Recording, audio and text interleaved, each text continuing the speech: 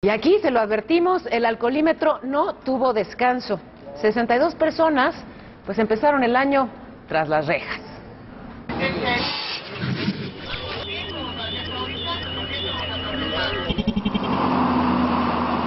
Se han colocado de manera aleatoria más puntos de revisión en la Ciudad de México y las salidas carreteras. Se aplica de día y de noche.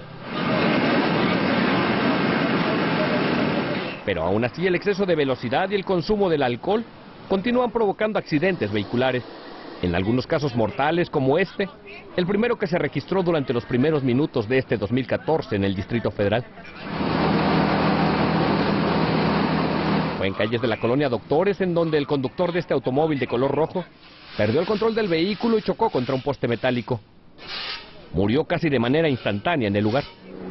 Durante esta primera madrugada del año, el programa Conduce sin alcohol aplicó 3.361 entrevistas y 528 pruebas en las que rebasaron los límites de alcohol permitidos en la sangre 62 personas. 49 de ellas fueron detenidas en los 15 puntos de revisión en el Distrito Federal y 13 en los accesos carreteros, por lo que fueron remitidas al Centro de Sanciones Administrativas conocido como El Torito, y dos vehículos fueron llevados al corralón. Para las personas remitidas esta madrugada de Año Nuevo se preparó una cena especial en El Torito, pues se les ofreció lomo, pasta, ensalada y ponche.